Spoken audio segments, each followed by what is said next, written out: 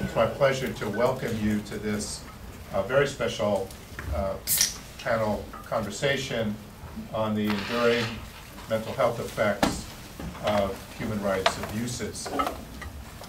Um, This panel has been organized by the WSD Handa Center for uh, Human Rights and International Justice. And even though the Handa Center has been relatively new on campus, it's already had a major impact on uh, raising interest, scholarship, and action around human rights violations, international justice across the campus, really across uh, the whole Bay Area. Um, Want to thank uh, David Cohen, the director, and of course Jesse Bruder for uh, the hard work in putting this uh, together and the sponsorship. There are also co-sponsors that I want to acknowledge. Um, The Center for, Center on Democracy, Development, and the Rule of Law at Freeman Spogli Institute, the Center for Policy Outcomes and Prevention uh, in the Department of Pediatrics in the medical school, and the Center for Innovation and Global Health, um, which is the global health lead in the medical school. Um, Basically, clinicians and human rights workers are always the ultimate inheritors of a failed social order. Sooner or later, the breaking of bonds of collective peace, human rights, social justice will ultimately wind up in the clinics, on the wards, in the morgues, and in the search for attribution, responsibility, and legal remedy. I don't have to tell this audience of the number of profound human catastrophes taking place around the world and the implications for uh, human rights, mental health, and international justice. Today, we have a very special opportunity to confront this challenge um, with three uh, really remarkable um, panelists here to share their insights with us today. Um, The first will be Daryn uh, um, who is Associate Professor of Psychiatry and Director of the Human Rights in Trauma Mental Health Laboratory here at Stanford. He's an expert in cross-cultural um, uh, mental health, uh, particularly as it relates to issues of torture and human rights violations. And he is an active consultant in a number of uh, areas of the world, including Cambodia, Haiti, Indonesia, and Zimbabwe.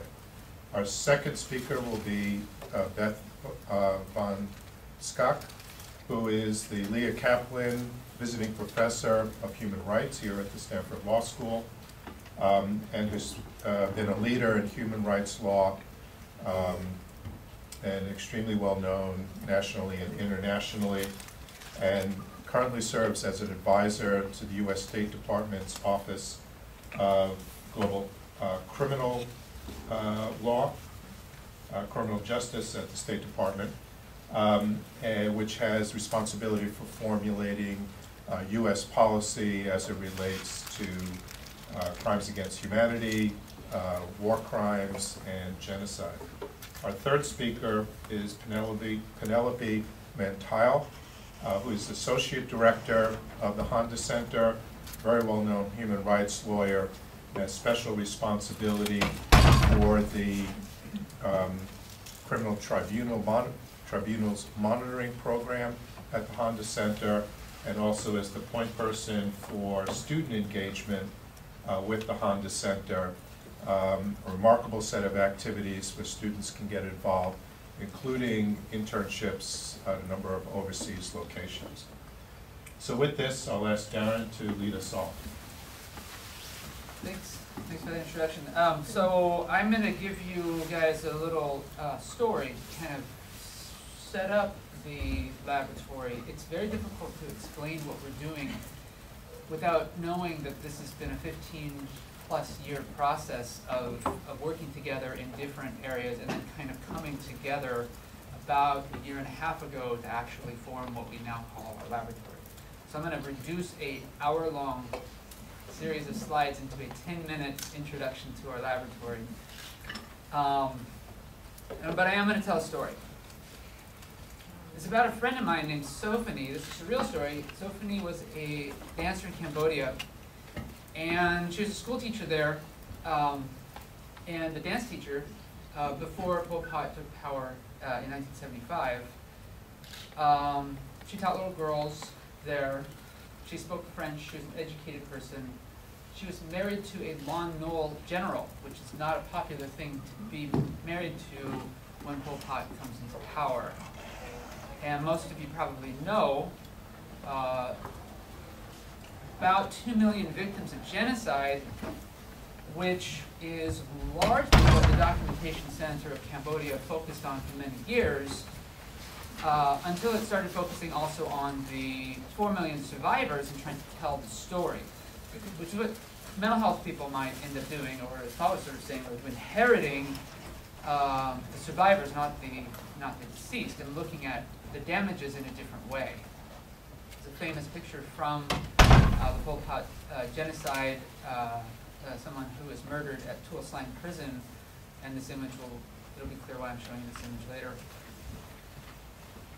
So, so the story goes, the little book says that Sophany, the Pol Pot came to power, and Sophany was left with nothing but her shadow. The Khmer Rouge turned Cambodia into a shadowland, and Sophany was forced to move far away. She did. She moved to San Jose and uh, became a mental health worker here in San Jose and worked um, at Gardner Clinic in San Jose treating uh, Khmer Rouge survivors. So, why did she become a mental health person? Well, because their psychiatric outcomes are very, very common in post-conflict settings. Uh, I don't know if anyone in the room is from uh, a medical discipline or from a psychiatric mental health discipline. This is such an obvious thing to people that are in mental health, yet it's not always totally obvious to people that are thinking about transitional justice. It's alluded to very often in transitional justice systems, but never broken down, quantified in the way that psychiatrists and scientists in mental health might think about it. Common disorders that we would see, anxiety disorders, mood disorders, somatoform disorders, substance use disorders, the list goes on. Um, the most sort of popular version of a disorder that you might think about after a conflict event is actually not the most common, but it's the most popularized, and that's post-traumatic stress disorder. And that's a very sort of specific possible outcome after a traumatic event or human rights violation that is seen, obviously, in high prevalence after a conflict kind of situation. But it's not the only kind of thing that can happen after, after traumatic. So this is on the in individual level, right? This is when, as Paul was sort of saying, in a clinic, when we're sort of seeing a human being in front of us and we're sort of saying, why are you here? And, and they're talking about this. But think back on that slide about the genocide survivors. Four million people who were all exposed to some form of human rights violation. Broad spectrum, but many of them forced to do things and see things that were quite uh, horrible. Then you're starting to talk about population data, right? You're starting to talk about um, massive effects of massive trauma on more than individuals, but um, big populations. And from my perspective as mental health professionals, it's very obvious, and these statistics um, are often quite clear and well recorded, and the epidemiology is, is, is very well written, but that's not always known uh, in other disciplines. So Beth and I worked with the Documentation Center of Cambodia uh, and, and, worked on this book about the mental health outcomes uh, in Cambodia after Pol Pot. And the reason, the main reason uh, that we worked on this book was to try to affect change in the mental health system there in Cambodia. Um, sort of say, listen, you know, there's a much bigger problem based on these statistics than what the mental health, uh, public mental health is set up to, to deal with. And almost everybody that we interviewed and worked with who co-wrote the book, the local psychiatrists and mental health professionals, completely agreed. In fact, we kind of let them guide how the book was written and, in fact, do most of the writing. Um, and they were in 100% agreement, um, but pushing back on the mental health, the public mental health system was very difficult, because they said, yeah, we, we are aware that there's all these problems, but there's, there's no advocacy for it, there's no money for it. No mistake, we coincided the book with the Khmer Rouge uh, Tribunal, or the ECCC. Um, this trial happening over the last five years, uh, maybe a little bit longer than that. But we purposefully um, had the book sort of coincide with that because we thought the advocacy would be more powerful um, in parallel with the justice system. Here's my friend Sophany on the cover of Stanford uh, Medicine. Uh, she was asked, can serving justice cure PTSD? Which is not really the question that we're asking. Uh, I think it was a catchy little hook to get people to read it, but, um, but her story was highlighted in Stanford Medicine because of what I'm about to tell you. This court became really the first court to hear about mental health statistics as evidence in, the, in a major tribunal that had to do with human rights. Even other tribunals that were happening around the same time, Sierra Leone, um, Rwanda, or former Yugoslavia, did not specifically hear about mental health and use mental health statistics the way that the, the ECCC. Um, and so Sophany actually became somebody to testify not only about her personal story of surviving, but also about the mental health outcomes that she experienced as a professional when she came to the United States. Her testimony was followed by the testimony of a psychiatrist who is sort of a national figure in Cambodia. His name is Sotheara Chhim, and he spoke specifically about the epidemiology behind psychiatry and used our book was submitted as evidence, and he used the statistics from this book to kind of uh, emphasize that these aren't his theories or personal beliefs, but he's extrapolating them from the literature that's known about trauma and about Cambodia. Not surprisingly, the top Khmer Rouge leaders found guilty of crimes against humanity, and their sentence was life in prison. What was surprising for me and for a lot of the attorneys that were involved, and for my lab, was that um, the psych some of the language that we had introduced to this court through our advocacy actually ended up in the decision. Uh, quite frankly, some of it was copy-pasted into the decision, apparently, because it was exactly what we had written. Um, We're not and, suing, by the way. Right, and, and, and I make this joke, right, is the, the happiest I've ever been to be plagiarized was right at that moment when we read this decision and said, my goodness, that's what we said, that's what we wrote. Um, and I'll show you. So, so when the damage part came out, there's a 700-page decision, and then the damage part, they say the chamber finds blah blah blah. Civil parties, a very large number of additional victims have suffered from immeasurable harm, including physical suffering, which is usually the thing that's highlighted. But they also put loss of dignity, which is our term that we kind of coined a little bit, psychological trauma, obviously the focus of the work that we're doing, and grief arising from family members and close relations. But the fact that they entered this, we were very enthusiastic. Wow, they acknowledged the mental health part and thought about that. Keep turning the pages of this 700-page uh, decision, and it turns out that they, the court, um, were very interested in and supported awarding money toward the treatment of mental health survivors, right? And that's all well and good for the Khmer Rouge Tribunal to say, we've earmarked some money, you really ought to pay it, but this was good money. This was money that was actually um, uh, pre um, um, created. It was it was already there, so they were ordering money that was real money to be actually used for the treatment of survivors. Uh, which is which is we would have been happy with a theoretical gesture, but to actually have real monies awarded to real clinicians is even better. So this occurred Beth and I finished this book in 2010. It was published in 2011. Um, it had its impact in about 2012. The court decision was 2013. And then we started wondering, well, you know, this, this has more potential than just one place and one time. It has the potential to be used somewhere beyond Cambodia and the ECCC because, you know, in most conflict settings, we're going to find very high rates of PTSD. We're going to have high rates of other bad mental health outcomes. And to the extent that there are good epidemiological studies, this can be used in different court processes.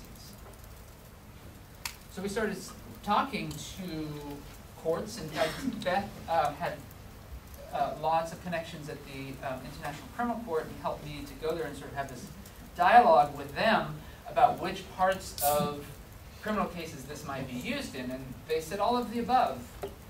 But really in the damage hearing is where it would be most valuable to the prosecution, the prosecution. But where would it be the most valuable to the victims? Probably in the reparations part. But they said "You- your epidemiology can help in, impact each part of a prosecution of a criminal case. Thus was born the Human Rights and Trauma Mental Health Laboratory, which is a Stanford Mouthful. we're still looking for a better acronym or like a good. We welcome we welcome contributions. The, the ones I've got have actually been quite funny, but um, great. Basically, a human rights uh, laboratory that really looks at exactly what we're talking about in this case, using the mental health realities, the science behind the mental health to inform courts in an effort to serve survivors of mental health, bad mental health outcomes. And with that notion, there's a lot more application than just the report writing that I've talked about, but I'm gonna stick on that for a minute. We decided to collaborate with the International Criminal Court. Um, and you can see the slide there, sort of, you can imagine they have a lot of different cases that you can, in your mind, apply what we're talking about to those cases. This is a case that they chose to actually apply our method, and the prosecutors from the International Court came out to Stanford and had a, had an extensive visit with us, and basically asked us for a report on this case. Why this case uh, was so attractive to us is not because of the specifics here, but because so much evidence was actually gathered there. The survivors of rapes in the villages had actually gone to a university psychiatrist and had surveys completed wherein he actually asked them the symptoms of PTSD to see if they had it or not. So he had a little study that's still unpublished, but he had all that data available to the court and for, to inform our report. So we wrote a report, and that report is complete now, um, and it is exactly similar to this, only instead of a whole book about the whole mental health system and, and everything else that's, I don't know how many, 300 pages.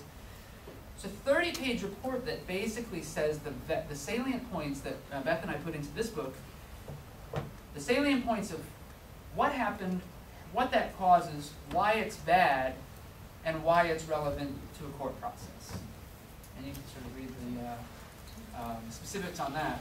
It demonstrates the link between the crime and the outcomes. And it also explains that the outcomes are not surprising, right? So when they were out here, they talked about another case, and they sort of said, well, you know, there's other cases that we see, like this one, where, you know, there was um, sexual enslavement and rape. Do you think that might have caused any kind of bad psychiatric outcomes, right? And we're like, I mean, almost certainly, but what kind of what kind of data do you have? And in this case, they really didn't have much data. So we said, well, we could write a report about what that tends to do.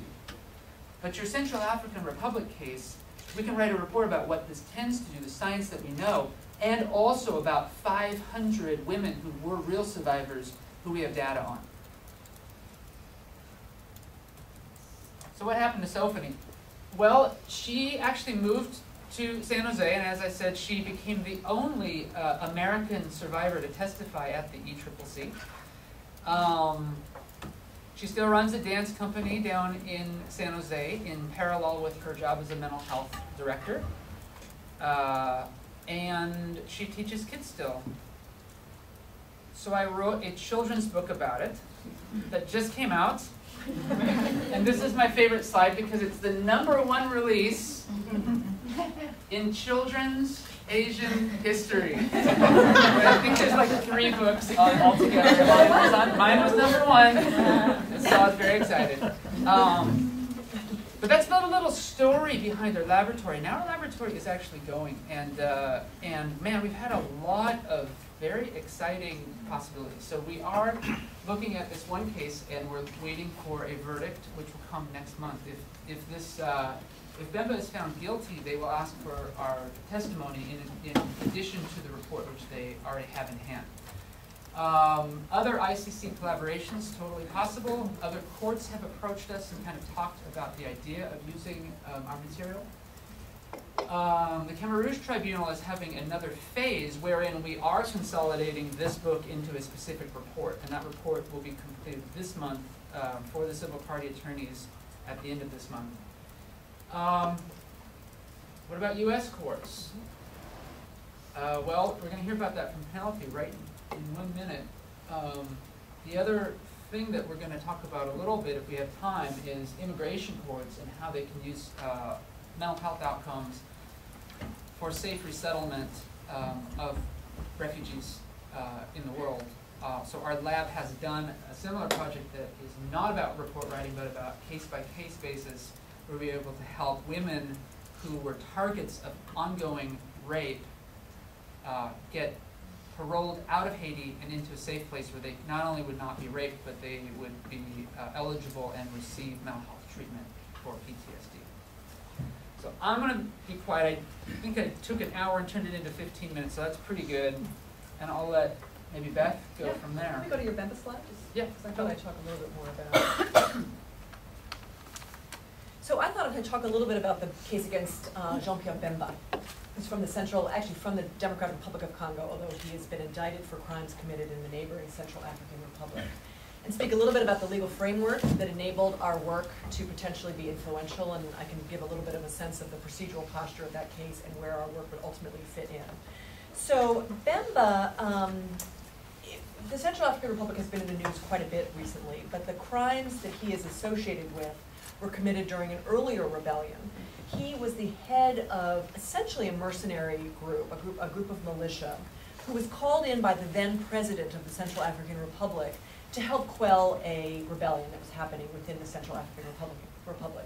So his troops were working alongside the national troops of the CAR to put down this coup attempt. And he, he had basically convened a number of mercenaries and really didn't have much in the way of funds in which to pay them for their work. And so part of the theory of the case against him is that he essentially told his subordinates, listen, take whatever you want. You know, go in, quell this rebellion, whatever you see there is yours. And so the charges that have arisen out of that, um, of that directive basically relate to a, a pillage, murder, and the mass rape of women, um, men, and children in the particular regions where his, his troops were deployed. And so um, the Central African Republic had ratified the International Criminal Court statute in 2001, which was very soon after it was um, it entered into force. And these crimes began happening a year later, and so the crimes against Bemba concerned 2002 and 2003. Um, they, the Central African Republic referred itself to the ICC, which is to say, something has to trigger an investigation.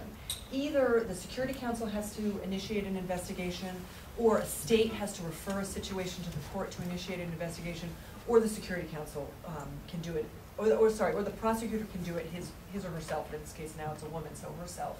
In the end, the Central African Republic referred itself to the court and said, we can't handle these, this crimes, we can't handle this situation, please will you start initiating investigations and prosecutions, and so the court did, um, ultimately in two thousand and seven. Trial began against Jean-Pierre Bemba in two thousand and ten, and closing statements were issued in two thousand and fourteen. So the court has now had this case under consideration, uh, for two years, and the, the judgment has been announced, and the judgment will be issued toward the end of March. So we are looking forward to that moment. Over five thousand victims were granted, uh, victim status before the court. This is a unique feature of the ICC that is also shared by the extraordinary chambers in the courts of Cambodia. Basically, victims can constitute themselves as what are called civil parties, which give them certain procedural rights in the criminal process, which they wouldn't otherwise enjoy.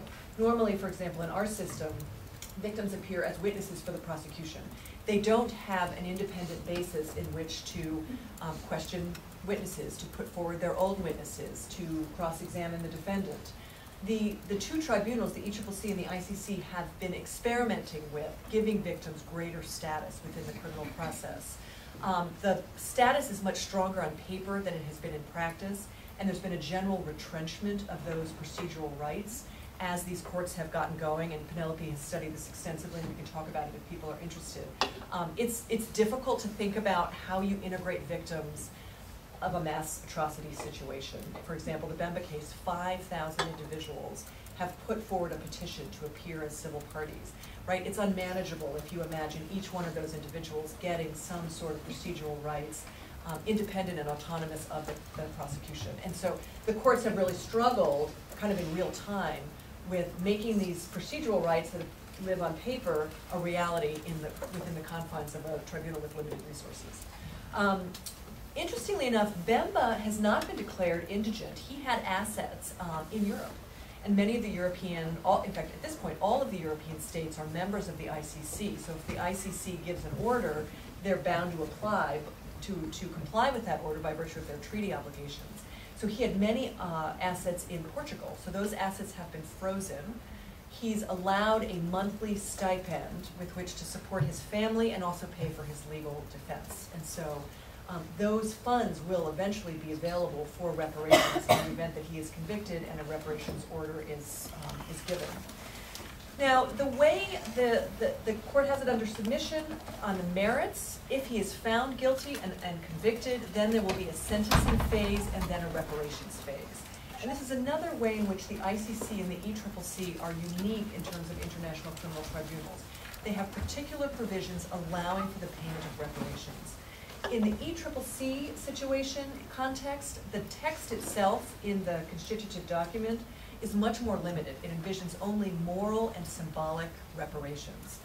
However, as Daryn mentioned, um, in the context of the first cases to go forward before that court, um, the court ruled that if funds were pre-pledged or were made available, they could be used for various reparations projects. And in the end, um, uh, American diplomat was charged with fundraising for the ECCC and included within his work fundraising around the creation of a pot of funds that could be used for the payment of reparations on behalf of victims. And so there was this pot of money, and as Daryn mentioned, some of that has gone towards psychosocial rehabilitation of victims. The ICC is slightly different. There is a separate entity called the Trust Fund for Victims. It was created by the same treaty that created the ICC, but it's a separate body. It has its own budget, it has its own management, oversight, etc. Um, that entity is engaged in ICC situation countries in two capacities. It has an assistance mandate and then it has a reparations mandate. So at the moment, it's engaged in its assistance mandate, which is to say it's using money that has been voluntarily given to it to create projects on behalf of victims. Many of them relate to psychosocial rehabilitation of victims. There's also um, the provision of, of medical assistance, prostheses, there has been, as you have maybe studied in Central Africa and Western Africa, um, a tendency to um, lock people's hands off, lock people's legs off as part of the um, effort to undermine um, opposition populations. And so these individuals have been given prostheses so that they can continue to work, job training, education, etc. So the Trust Fund for Victims was about to launch itself in the Central African Republic when the most recent rebellion happened, um, the Seleka rebellion, the Seleka Alliance, which is redundant, but anyway, Seleka means alliance, but we still call it the Seleka Alliance, um, emerged and started to challenge the constitutional order. Then we had the anti-Balaka forces that emerged to fight against the Seleka Alliance, and an uh, internal armed conflict existed between those two non-state actors.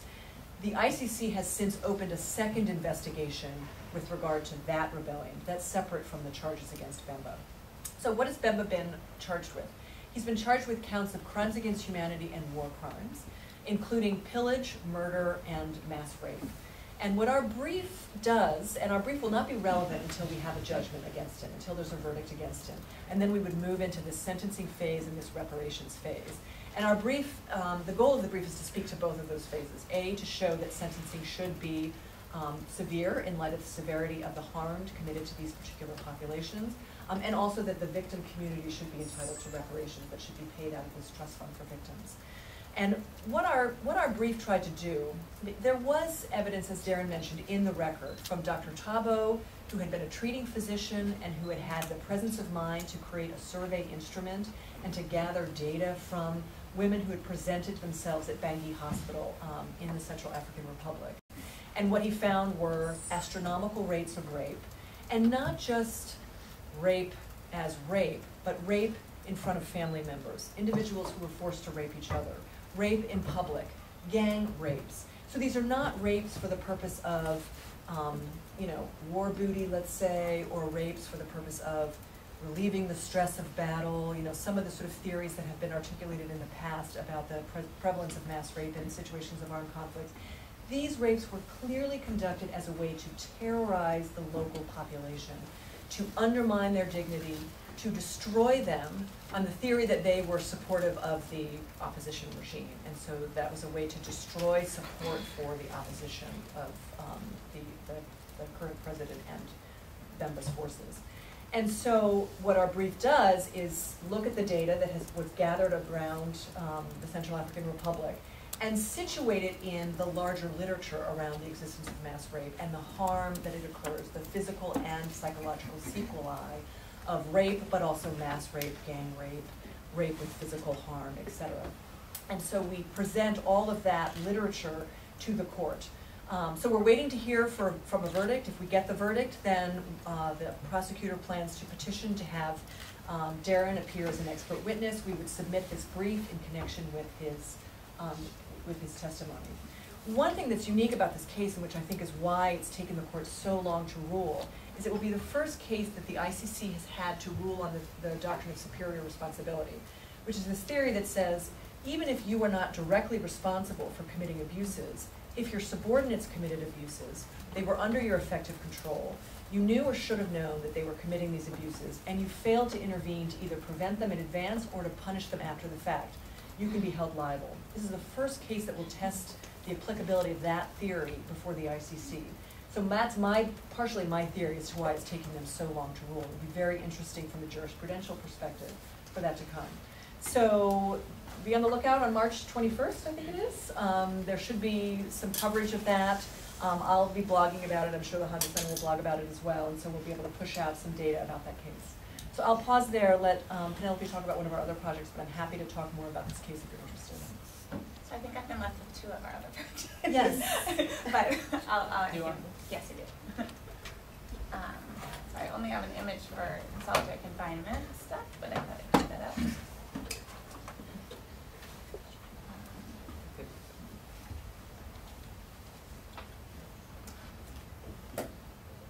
There we go. So, um, yeah, so as Daryn introduced, our lab focuses on uh, the legal applications for a specific area of psychiatric research. Um, so for mental health effects of human rights abuses. And Beth and Daryn have given you um, a good overview of sort of the two core projects of one area of what the lab does, which is um, producing expert reports for use in international criminal proceedings to bring psychiatric research into that legal arena. But there's other legal arenas where we are also working to bring the same uh, psychiatric research um, and uh, and improve improve outcomes. So the two areas that um, are, are other wings um, would be refugee resettlement um, and the new area, which uh, I'm sort of introducing as a very new within a few weeks, and we're still really discussing how we're going to approach it. Um, is closer to home in California, and that's um, the mental health outcomes of long-term solitary confinement. Um, so um, I'll just give a quick blurb on the refugee resettlement and not go deep into it. But um, the, the refugee uh, resettlement, we were formerly calling humanitarian parole project because humanitarian parole is one legal remedy that's available um, for uh, refugees to find resettlement. But traditionally, um, humanitarian parole was offered for people with um, with physical medical um, issues. So this the quintessential case would be like a baby born in Guatemala with a really rare cardiac condition who can only seek treatment at the Mayo Clinic. And uh, the U.S. might grant them a special immigration status to travel to the United States and stay in the United States during that treatment and be here um, with the idea that they could return. Um, in post-earthquake Haiti, Daryn um, worked with a, a number of lawyers and other clinicians um, to test whether um, the same avenue could be used for seeking mental health treatment for traumatized um, populations in that case, it was victims of sexual and gender-based violence in post-earthquake Haiti, where there's a complete breakdown of governance and rule of law because the whole country has literally collapsed. Um, and in fact, they were very successful in um, seeking resettlement for um, cases where they could show PTSD um, and treatment needed to be sought outside of, of post-earthquake Haiti. The lab is now um, still working with some of the same partners to test um, whether this same approach uh, works in other scenarios, or is it unique to post-earthquake Haiti that we were so successful? Um, so the cases that we're now working with, and Daryn, as Daryn says, this would be a much interesting presentation Two weeks. in two weeks. He's about to go to Jordan, travel to Jordan, because we're working um, on Syrian refugee, primarily Syrian refugee cases in Jordan. Um, so that'll be my And right here is Michele Barry, she's the, um, she's the dean of the medical school, she's coming with me No, to. Dean of Global Health. Well, the dean of, dean of global health, the point is that she's not a psychiatrist, she is, she is an infectious disease, uh, internal medicine doctor, and so she's actually gonna be looking at the opportunity to potentially use psych, medical and also psychiatric mechanisms to do a similar project. Um, and so this project, again, I think in two weeks we'll have another lecture here, and we what we, what we come up with. Um, so the third area that I mentioned um, is the mental health um, effects of long-term solitary confinement. This project um, has sort of come onto our plate thanks to a recently settled class action lawsuit um, in California. Uh, Ashker or Oshker? Ashker. Ashker versus California, um, uh, where we see an exciting opportunity to undertake important research um, and, and possibly policy advocacy, but we're still sort of feeling out what's the best way for our lab to approach this because the, um, the type of work that we would be doing is slightly different than what we've done in, um, in the refugee resettlement cases and in the international criminal court cases, where we're mostly sort of marshaling the evidence from the psychiatric literature and presenting it to lawyers and judges in a way that they can understand and absorb into those proceedings and into that um, jurisprudence or, um, or those uh, refugee outcomes. Um, the solitary confinement case, um, we're, we're more looking at how either we can be, produce research that's helpful for future litigation um, on solitary confinement because the the jurisprudence still does not state that solitary confinement is per se unconstitutional um, under the Eighth Amendment, um, cruel and unusual punishment. But the Oshker case got um, a, a really significant settlement um, to to release a lot of people from long-term solitary confinement and to end indefinite solitary confinement in California. So I just wanted to give you a little quickie overview of um, of Oshker um, and then open it discussion because that'll sort of give you the rundown. So this is a photo of um, a prisoner in what's called um, uh, secure housing unit. So SHU is the shorthand for it. Um, solitary You've watched Orange is the New Black, that term the is SHU, familiar to right? Um, uh, in Pelican Bay, which is um, a maximum security prison way north in California, nearly on the Oregon border. Um, and it's a sort of notorious prison. It's been the subject of a number of class action lawsuits for not just solitary confinement, but all sorts of um, treatment and condition of prisoners issues. Um, so at the start of the case, which was 2009, I think when they filed, um, uh, there was, I think, 4,200 uh, prisoners in, in segregated confinement. 3,000 of these were facing indefinite sentence in solitary, um, and this was often based on allegations of gang involvement. So this was not um, the person already facing a life sentence who then committed a murder in prison and needed sort of additional punishment for it. A lot of this was indefinite um, sentence based on gang or alleged gang ties. Um, in 2012, the named uh, plaintiff, Todd Ashker, um, was among 78 prisoners confined in Pelican Bay's isolation unit, of which this is an example. This is not him, but this is an example of the unit. Um, for more than 20 years, he'd been in solitary confinement. There were 78 of them that had been there for over two decades. Um, more than 500 of them had been in the unit for more than 10 years at the time of the lawsuit. Um, and uh, and at this time now, SHU prisoners are being released into the general population if, uh, if they aren't in solitary confinement for a specific crime, such as assault or murder. Um, and even if they are in solitary for a specific um, crime, the settlement should end the use of SHU for indefinite sentences. So the solitary can be used as punishment, but only when a defined sentence um, and no more than five years. Um, so the Department of Corrections has agreed that uh, prisoners who remain in the SHU or you know, one of those um, terms, uh, if they've been there for ten years or more, um, are, should be put in a special unit with some sort of personal um, interaction. There is a disagreement with the Department of Corrections as to whether this constitutes solitary confinement because they interact with guards through, you can kind of see in the image, this is a photo taken through a grate. You can see sort of the shadow. Um, there's some interaction with guards. And they can yell through the wall. They can yell through the, they can hear each other through the walls a little bit. Um, uh, so there are sixty-two inmates as of July that remain in SHU who have been there for over ten years. Um, but they should get some educational programming and some recreation if they remain in SHU. However, the settlement, um, did not, um, allow for or create any programs for those who are released from SHU into the general prison population or released on parole, uh, into the general, into the world.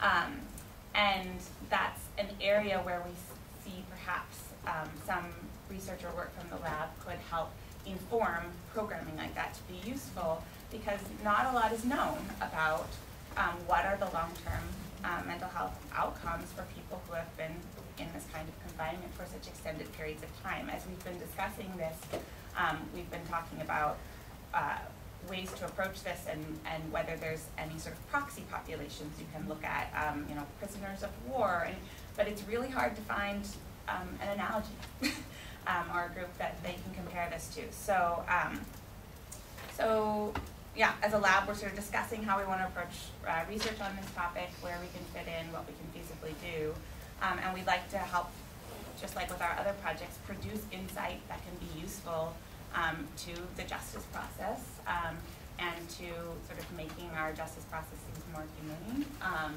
and, uh, and perhaps contribute to, um, more insightful future jurisprudence about, um, what is the harm here, what are the remedies that should be available through the law, um, and does this constitute cruel and unusual punishment? Because one of the things we've heard, uh, from this litigation and from earlier litigation, um, is that uh, when talking about the mental health impacts of this, there's a real focus on raving, stark raving madness. And sort of when lawyers talk about this, we think of what psychiatrists think of as acute psychosis.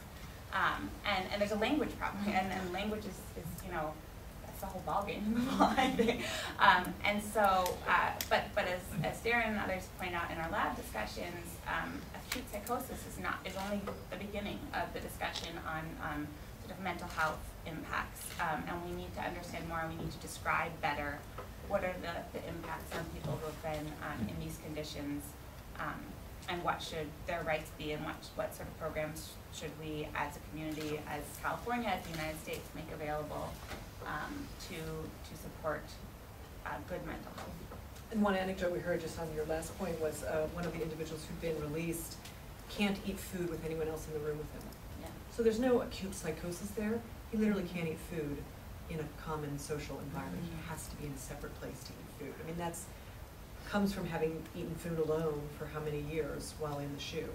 Um, and these cases are historically very different, difficult to challenge solitary confinement because the issue often is mooted. Um, if it becomes challenged, then the authorities will release the individual back into the general population. You may have heard recently about the Woodfox case. This was a case that we reached out to the lawyers to see if we could be helpful, and the timing was not good, if they were really in need of, um, if we were gonna do a brief in sort of the next week or so. Um, they've recently settled their case, and their, their, um, client has been actually fully released, um, into the, into the general population. After serving fo- a forty-year sentence, a good chunk of that was in solitary confinement in Louisiana. in Louisiana, that's right. Oh, and one other image I wanted to show is this is the uh, recreation yard at Pelican Bay. So for all but ninety minutes a day, the prisoners in SHU are in their room, their windowless room with the grate that the image was through. And then for ninety minutes on their own, they're released into this room, For which has filtered light through the ceiling uh, for recreation.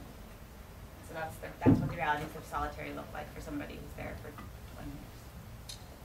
Well, great. Well, I want to thank the panelists for a remarkable set of insights on activities from Cambodia to Central African Republic and Pelican Bay. Mhm. It's now time for questions, answers, comments from all of you. Yeah, hi, I'm Mark Lucille, I'm affiliated as a visiting scholar with Handa this semester. Um, quick question for, um, each of you, I think. First, Penelope, is it possible to conceive solitary confinement on a long-term basis as the international crime of torture, to make international criminal law relevant here? Um, question for Daryn, um, why the focus on PTSD when you started at the outset by saying this was not the most common of the various kinds of serious psychiatric disorders? Is that only because everyone knows what that is, or because it's more severe than the other forms of it? And then for Beth, um, Daryn mentioned that um, there's mental health data that's relevant to each part of the criminal trial prosecution. Now, most criminal lawyers, uh, and, cer- and certainly um, defense lawyers, would be intensely skeptical of that, which resonates with Hannah Arendt's critique of the Eichmann trial, which introduced victim testimony at, on the liability stage, and, and was almost universally rejected by international jurisprudence on this. So why is this any different? Why shouldn't we be just as skeptical? Um, and then also for you, uh, the severity of the harm relevant to sentencing uh, and the victim uh, testimony respect to that. Now, at the domestic level, this is intensely controversial Yeah, among the the victim impact statements. Yeah, that's right, victim impact. statement. So is there really any argument for distinguishing uh, the use of this testimony in international criminal rather than domestic? Sure. Yeah, so uh, what I would say is in the reports that we're writing, that there is no emphasis on PTSD. May- Maybe PTSD is the most exaggerated statistic, but that, there is no specific interest. We, we, are- we were, we kind of ter- coined the term um, trauma-related mental health outcome. It's not, it's like, a- again, a mouthful of words, but I mean, it's better than PTSD because PTSD is, is a narrow possible outcome. With regard to the refugee resettlement, I would say almost one hundred percent of the cases that we get have PTSD. They've been sort of cherry-picked by attorneys because they, they are using a diagnosis that, that, that is specific to, it's the only, really, one of the only diagnoses in the DSM where the mental health issue has to come from a traumatic event. So they're sort of, they're using that cause in their argument. This woman has PTSD because she was raped, she's at risk for being raped again, she needs to get out of here, she needs treatment for this thing. Rather than, she, she probably has depression related to what happened after the earthquake, and it's pretty severe, she, she needs to get out of here.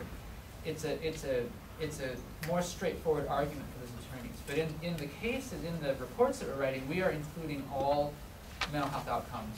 And I'd say PTSD may be the most obvious or the most, um, there may be more literature produced on PTSD than other mental health disorders, but we, we use all of the above.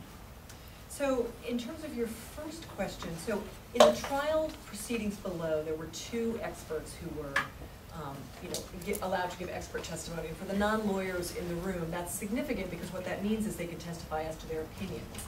And they can bring in a lot of data that isn't relevant to the material elements of each crime necessarily. Um, and it doesn't have to be eyewitness testimony necessarily. They can speak to their opinions, they can bring literature in, et cetera. Um, and the ICC, as you know, and you know others may not know, is, is based on somewhat of a civil law evidentiary model. So in a common law system, if you have you know watched you know TV and you know this and that, they're always making objections about the admissibility of evidence and this and that. In a civil law system, a lot of evidence comes in, and it all goes to weight. How much weight does the judge give to a particular piece of evidence? So there's a much more free entry of evidence. So that's the tradition that the ICC has very much adopted. So we had testimony from Dr. Tabo, who was, was both an eyewitness um, to the harm of women, and then also was able to package his survey results as somewhat of an expert report. And then there was a doctor from Bellevue Hospital, a torture treatment center in Bellevue Hospital, who also gave some testimony about um, not just the individualized impact of rape on the victim, but also the longitudinal impact, the impact on her family, on her community, et cetera. So in some ways, very similar to the brief that we are, are suggesting. I anticipate that we will be challenged um, if and when we want to put our brief forward at the sentencing and or reparations phase by the defendant's counsel. And so the prosecutor will just have to litigate that and they'll have to decide how much, how much resources they want to put towards getting Daryn in front of the court. Um, and so it, this is, this is the first for the ICC, and so it will be very much, I'm- I'm curious to see how it will, how it will go. Um, in terms of your point about, you know, victims and victim impact statements, you're absolutely right that in the domestic system, it's been quite controversial, the idea of allowing the victims to testify as to the long-term impact of a criminal act on them. Theory being it's prejudicial towards the defendant, it might sway the jury, um, the jury might act not on the basis of, of evidence in the record, but on compassion or empathy towards the particular victim. So some courts have put limits on the ability of victims to put these so-called victim impact statements into evidence. As far as I know, maybe you know differently, I don't think there's ever been a ruling in international criminal law on this question. And those um, jurisprudential and almost even philosophical debates that we've been struggling with haven't percolated up to the international level. It may do that eventually. The courts I have found, in my experience, have been somewhat, in some cases, have been resistant to allowing expert testimony around statistics, for example. And if people are familiar with the Human Rights Data Analysis Group in San Francisco, Patrick Ball has often done talks here on campus. Um, he had a really hard time in one of the cases trying to put some of his statistical evidence in front of the court, and the court was like, oh, this is all confusing, we don't get it, it's like numbers, weird, we're not used to this, and so basically rejected most of his conclusions, which he was trying to show that the violence in question was not random. Like it had to be, given the statistical correlations and et cetera, it had to be because of a plan or policy. Who that plan or policy originated in was an open question, but it was not random. It was not people plucked at random. It was clearly done on ethnic Okay, grounds. The legal relevance of that is clear, no one would The legal relevance of that is clear, right? It's somewhat different in this I victim. ju- I just want to make sure Yeah. we have enough time. These are absolutely Great important. questions, no. The answer is, uh, I don't know, points. the court hasn't ruled yet, we'll see. But I, I just want to make sure. Yeah, um, Penelope, sorry. Yeah, we won't settle this here, I don't think, but please, no, it's extremely helpful, thank you. And on torture, yes, I think there is a possible avenue for, for making the case there. Um, I think, uh, the order of operations in sort of the lab lineup is, is, uh, finding out the information about what's the nature of the harm. Um, and then seeing all the different fora where that could be used, right? So in policy advocacy for programming in the California Department of Corrections, um, you know, in future jurisprudence where I think in US courts we tended to like our homegrown words more. um, but certainly, I think there is there's compelling jurisprudence from the European um, Court of Human Rights, um, and uh, and yeah, I think that in looking at the the language that's used there, um, we'll see what our findings can slide into. Thank you. Please. Um, so I'm wondering about um, some of the challenges of translating medical findings into legal uh, language. I know that in the domestic tort system, there's often a challenge in the context of establishing causality between an event and um, outcomes, and I think especially with mental health, it's even uh, more difficult. And with situations where there's been a significant passage of time, it might even be more challenging. So I wonder if you could speak a little bit about uh, that. And my second question is on um, the broader role of reparations. So I know there's some literature talking about how reparations can also have um, a symbolic meaning to victims. So beyond like getting money that can be used for treatment, um, it can also have um, you know meaning um, in rehabilitation, um, just as the sense of getting acknowledgement and, and uh, rebuilding of, of um, you know lost dignity and that. So I'm wondering if that in some way plays out uh, in in the book and in the um, in your uh, report. Yeah, so I mean, I, I think that, um, so it's kind of back to the question that was asked earlier. One of the reasons why PTSD is, is one of the hallmarks that we're using in these cases is because there's the cause. So in other words, if somebody has some other mental health outcomes, um, I don't want to, I wouldn't, I'd be respectful of time, but I mean, there's a book, um, that's about the Jewish Holocaust and the existential losses that people experienced after the Jew- Jewish Holocaust. And there's a psychodynamic psychotherapist who, like, that was his area of work. Never once in the book does he talk about PTSD. In fact, when he wrote the book, that term didn't exist. He's talking about he's talking about these very real losses that are difficult to quantify. PTSD is much more easy to quantify, to, to study and to show. When we write a report, we, we write the statistics that we can about PTSD and also comment on everything else that we can. We allude to Viktor Frankl and say, you know, his work is relevant. It's just it's harder to measure the existential reality that somebody might have from that. as to, you know, go into court and be able to say the, the, the, the rate of, the prevalence of PTSD in a non-traumatized population is under two percent, and in this population, it's fifty percent. Like, that's very, very clear and hard for them. Our reports are sophisticated though, and we bring into, bring into these other things. And then I think also, that also alludes to the other question that you asked. Yeah, um, the, you know, money for mental health treatment is great. Two one million dollar projects that were specifically about treatment, that was fantastic. But I, I, I'm not sure how much fantastic literature there is, but I think that everybody that's involved with this, um, process believes that there is some, some healing to the whole process of transitional justice and to the recognition of, and not necessarily specific monies going toward, uh, the mental health part of it. So, in fact, in the, in, in our next version of this book that's coming out this year, um, there's some, there's some more information about that, but not, there's not hard and excellent facts about it. There's theoretical material about that so far. The Inter-American Court has been really at the lead Yeah. on coming up with symbolic reparations orders.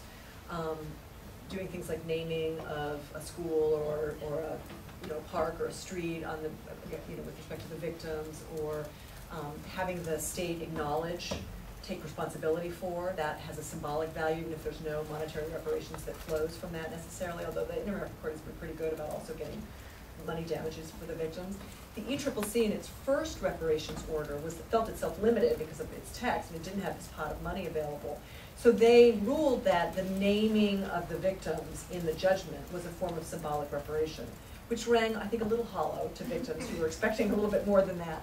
Um, and so that's why this effort to come up with a pot of money that they could then use for more, um, for more concrete reparations was important. I think many people are skeptical of the idea of writing an individualized check to someone. I think there is this sense that we should look at healing entire communities, look at how collective reparations can work, rather than just writing a check and calling it a day. Good. Uh, Just a quick one. Um, I did research, field research in Rwanda 10, uh, 10 years ago, and um, I've researched into genocide in the justice system in Rwanda. And uh, when I returned, and naturally I think I was, I was traumatized.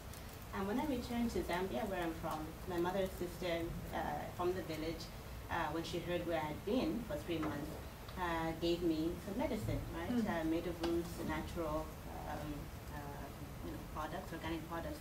And she had told me what to do with them, had to bathe in them, yeah, for a certain period of time and in a particular way. And she explained that this would, right, remove the death from, from me that I carried back from Rwanda. And um, my question is, we've had so many mental health workers uh, in Cambodia, uh, in Rwanda, in Sierra Leone, Central African Republic, uh, the movement from the west, right, um, to the global south.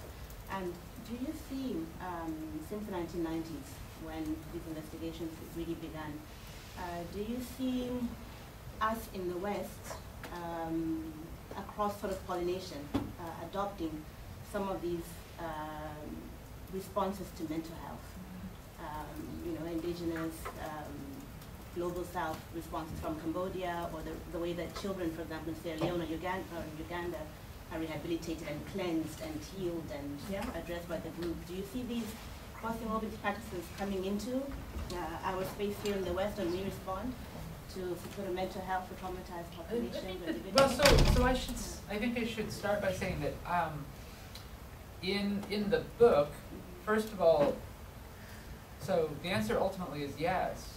I mean, in, in this book, we were careful to sort of get the opinions of local folks and not to write this book and say, these, here's some Stanford people who know what's better for you, but to actually collect the opinions of the people who were mental health practitioners and had been for many years, a twenty-year history of doing mental health there. And, and not only put their opinions in, but, you know, there's a whole chapter in here that's really just, just a, a journalist piece where we took exactly what they said and made a chapter out of it. Um, and a lot of the practices that they use um, are influenced by, by Western practice, um, but a lot of it is sort of hybridized. And so the other piece that I think we were very clear about when we re- recommended reparations was that the money didn't go to us to implement mental health. the money was, um, would go to a local practitioner to, and we, we written in our writing exactly what that would look like. Because I feel like that is beyond the scope of my, uh, uh, knowledge, my practice, is to tell someone in a different country how mental health should be delivered.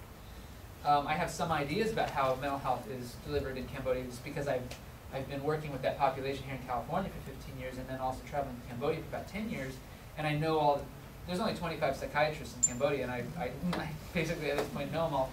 And, and, but the answer to your question is, many of them are influenced by Western ideas, but, but all of them, I would say, have practice a sort of hybrid.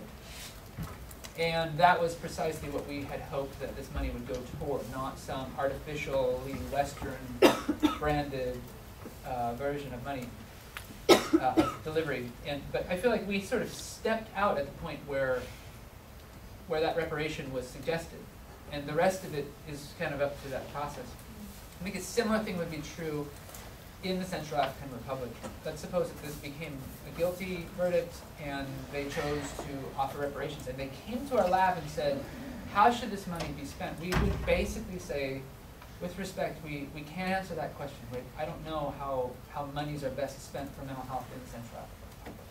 It'll be interesting, I think, to see if the ICC um, adopts any approach similar to what they did at the ECCC in Cambodia with actually getting um, suggestions for reparations, because they didn't just come from expert reports, right? The civil party participation process in Cambodia Yeah. meant that the civil parties themselves Let's ask for it. some better represented than others, got to brainstorm their own ideas for what types of reparations would you like. And in case 001, the first case, case against Comrade Duch, it was an incredibly diverse, creative uh, list of requests, many of which got denied because the court initially was saying, well, we can't order the government to do anything and we don't have any money and so blah.